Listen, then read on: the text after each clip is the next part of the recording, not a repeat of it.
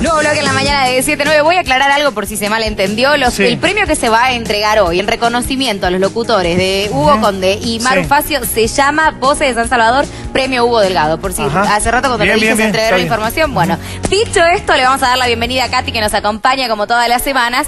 Hoy vamos a degustar imaginariamente comidas típicas de Rusia. Katy, ¿cómo estás? Buen día. Dobre día, Nicolás. Dobre día, Dana. Bueno, no tan dobre ahora, no tan ah, bueno. No, sí, igual. Porque, bueno, Argentina se quedó afuera, estoy muy triste todavía, pero ahora me tienen que hacer el aguante ustedes, ¿no? Por Rusia. Claro, Sí, ayer, bueno. ayer escuchaba que Sí. Bonadeo decía, era el seleccionado ruso era uno de los que le ponía pocas fichas, ayer se retractó y dijo, Sí. yo que creía que se iban en, en primera, bueno. segunda ronda. Es una cuestión psicológica, Es un ¿no? mundial, es un mundial raro el que Sí. estamos teniendo, es un mundial donde ya en la previa pasaban muchas cosas, de hecho Rusia no podía ganar los partidos amistosos. Comenzó bien, no tenía una zona tan difícil, hay que ser sinceros, solamente Uruguay, después los otros equipos como Egipto y Arabia Saudita no eran tan Sí. complicados. Y ahora la verdad que el batacazo España, contra España. sí. Pero bueno, eh, y, y así Sorpresa, todo, Argentina se quedó afuera. España se quedó afuera, y hay que Alemania quedaron- se quedó Alemania se quedó afuera, sí, así que sí. bueno. Con Bueno, un mundial con sorpresa. sorpresa, pero vamos a dar vuelta a la página. A Vamos. mí me interesa lo gastronómico. Katy, ¿qué trajiste hoy para contarnos? Nada que no podamos sacarnos una angustia con un buen plato. Y Claro, más cuando Panza llena, ruso. corazón contento, dice el refrán. Así ¿Eh? es, así, que es. bueno. Bueno. les traje. A ver, Bueno, este es el borscht. ¿Cómo, cómo, borscht, cómo? borscht. Borscht, Borscht. ajá. Es la sopa más conocida que eh, existe en todo el mundo Sí. y es rusa. Ajá. ¿sí? También borscht. También se, se hace en Ucrania, se hace en Bielorrusia, todos eh, países de ahora ex Katy, Unión ¿se Soviética. sirve así específicamente en esa especie de... Te traje esta, foto porque es como la cazuelita de barro de acá. Bueno, estas Ah, son bien. las cazuelitas tradicionales de Rusia. Ajá. Se hace con carne, remolacha, se decora con eneldo, se utiliza muchísimo eneldo. ¿Qué es el el eneldo? eneldo? Eneldo es una especie de perejil, pero bien perfumado. Tienen como unos. Le eh, más sabor todavía. Sí, es exquisito. Acá muy difícil conseguirlo. Eh, lo he visto en el mercado una o dos veces. La verdad que cada vez que lo está lo llevamos porque es muy rico. Perfuma todas las ensaladas para todo. Para lo que sea lo pueden utilizar. Mira Es como el verdeo que utilizan acá que le ponen todo. claro. Es una sopa que se eh, come con una cucharadita de crema fría. Eso te iba a preguntar, ¿es sopa fría o sopa caliente? No, no, es sopa caliente, Bien. pero a todos los platos calientes se le pone arriba una cucharadita de crema fría.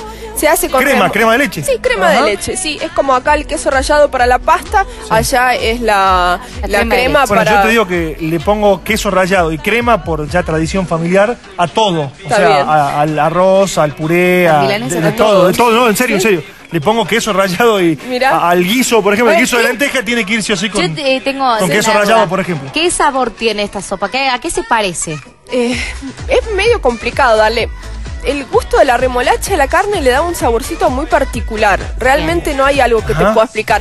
¿Pero sería Le- como un sabor agridulce o, Eh, o No, es no, no, salado es saladito, es saladito, sí, es un, un gusto muy suave, es muy rica. Pueden buscar las recetas en Google, ahora está todo traducido. Anímense a hacerla porque realmente es exquisita y para invierno va espectacular. Bueno, tenemos el plato de, entrada, sería Sí. una sopa, por ejemplo. No, claro. el principal también. ¿no? También el principal. Sí, allá se utiliza ¿Es, el principal, pesado? tiene carne. Digo, ¿es tiene pesado? carne. ¿Te cae pesado cuando lo No, comes? no, no, no, no, Ajá. tiene repollo también, tiene muchas verduras. Muchas verduras. Katy, ¿qué es la yuba? ¿Está bien dicho así? Yuba. Yuba. ¿qué es la yuba? Yuba. Es una ensalada rusa fría que tiene pescaditos adentro. Qué rico. ¿Sí? Pescados. Pescado. Es una paso. ensalada, sí. En realidad allá no existe como... Acá lo podemos ver. Bueno, Bueno, me viste gusta, que... pues. ¿Podría no esto gustarme el pescado? ¿Cómo corta usted pesca? Bueno, perdón, Katy. Es- Esto ¿qué- de estar decorando también, viste, les encanta. Sí, bueno, todo muy decorado. so- Son decoraciones por ahí un poco infantiles las que Mira. uno ve, pero les encanta de, de- decorar, ¿no? Se- mucha verdura, eh, pescados en lata, se utilizan silotka. No, no, no me sale el nombre en, español. es ¿Tipo un pescadito. sardina? Claro, Ajá. tipo una sardina, exacto, que lleva muchas espinitas adentro. Me, me acuerdo porque era Por no desesperante eh, ¿De comerla. Era desesperante comerla. Hay Claro, una- ese es el tema. hay una foto que está cortado para que la vean cómo es desde adentro. Es muy rico. A mí personalmente de los platos no es el que más me gusta, pero es un plato que nunca puede faltar en un cumpleaños, en una Navidad, en una... Acá ¿Es la como el vitel toné, pongámoslo así, o no?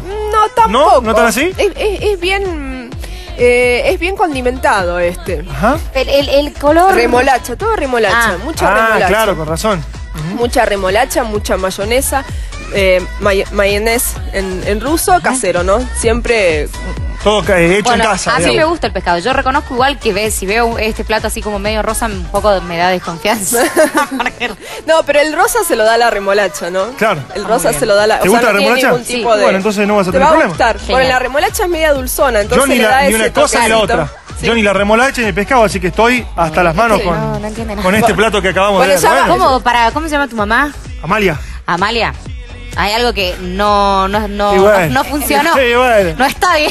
Y bueno, ¿qué va a hacer? Mateo es mi hijo, es igual. Muy mal criado. A nosotros en, Y bueno, en- sí. en Rusia nos sentaban y nos decían, tenés que comer esto y hasta que no lo termino tenías Y que en mi comer. casa en un principio pasaba, después ya dijo mi vieja, somos cuatro, dijo después, ah, Hace ¿sabe lo que qué? quiera. Claro. Está muy bien. Vos sabés que mi mamá hacía una sopa de pescado, de cabeza de pescado, porque bueno, Mirá vos. en, después de la eh, perestroika había que aprovechar todo y antes de la Unión Soviética también aprovechabas todo, tipo hasta las patas de los pollos, la cabeza del pollo. Claro, Claro. todo. No, chicos, era diabólico ver un plato con una cabeza de pollo Sí, sí, me adentro imagino. y una pata, pero bueno, eran Era, culturas en claro. ese momento y, y nada se desperdiciaba. Bien, ¿qué otro sabor trajiste para presentarnos? A Katy? ver. Bueno, a ver, ¿qué otro tenemos? ¿Qué más tenemos? Bueno, ahí están, estos son mis favoritos. A ver. Pilmeni. Pilmeni también, bueno, ¿Cómo lo, vemos.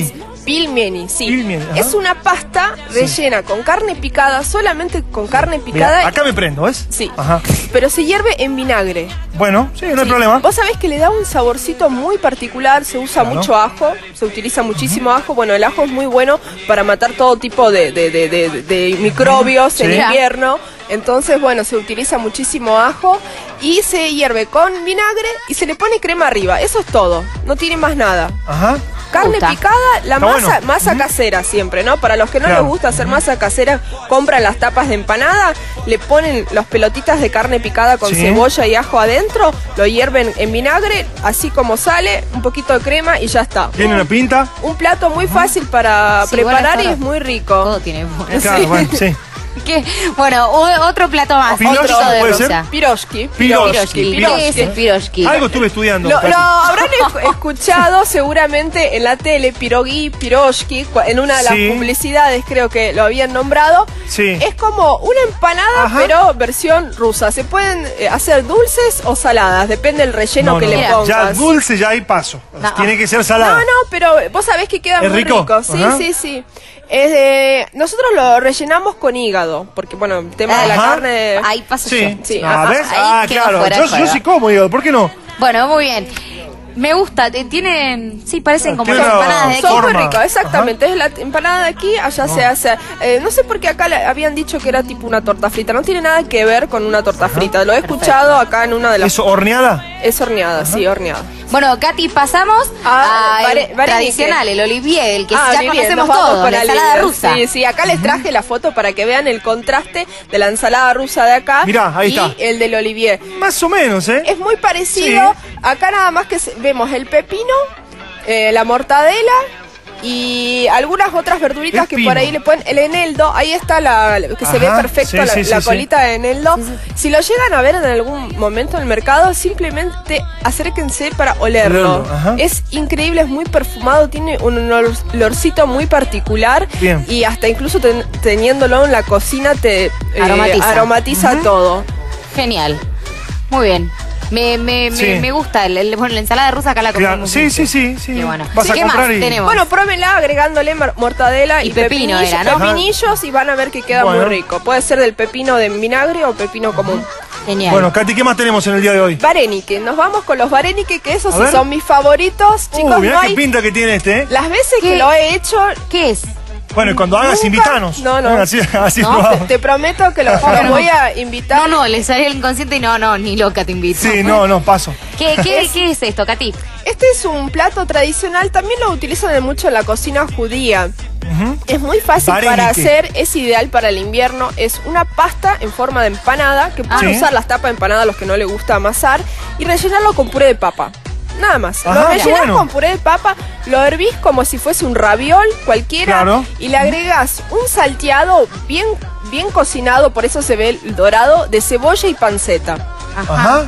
Bien saladito. Sí.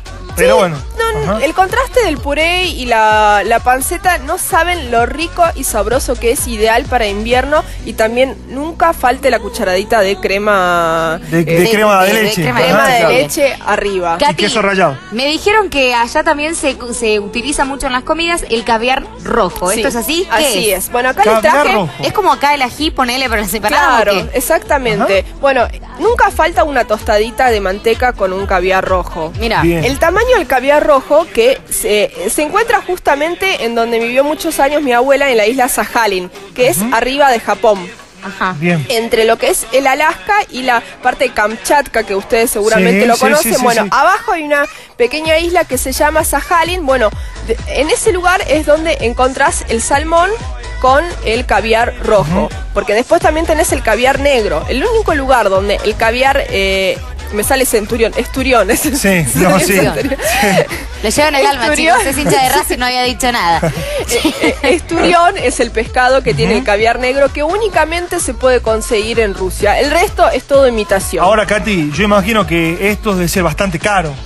Mira, ahora porque se hizo como se puso muy de moda. Antes mi mamá, no, mi abuela me traía de Sajal en los frascos grandes de caviar negro y rojo y era hartante Pero comer. pero, eh, en la tostada con la manteca, bueno, nunca Es- se me queda exquisito, ocurrido. realmente a mí me encanta, pero no te aporta col- calorías, no es algo que vos te podés poner, comer medio frasco y no te llenás con Ah, muy eso. bien. Claro. Eh, Katy, por una cuestión de tiempo, yo sé que trajiste un amplio menú de postre, pero elegí uno, tu favorito, y se lo, lo- lo presentamos a la gente. Ay, a ver, a ver, eh, bueno, lo voy a elegir por una cuestión de, de infancia y, de, de sabores que es eh, muy parecido al flan.